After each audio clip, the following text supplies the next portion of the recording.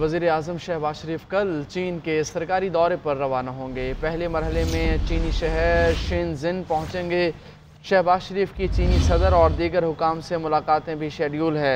दौरे से पाक चीन दो तरफा ताल्लुक और तजारत बढ़ने का इम्कान है। वजी अजम शहबाज शरीफ की जर सदारत दौरा चीन के हवाले से लाहौर में इजलास हुआ। वजरा सेक्रेटरी खजाना, चेयरमैन एफ़ बी आर ने भी शिरकत की। उधर वजी अजम की जर सदारत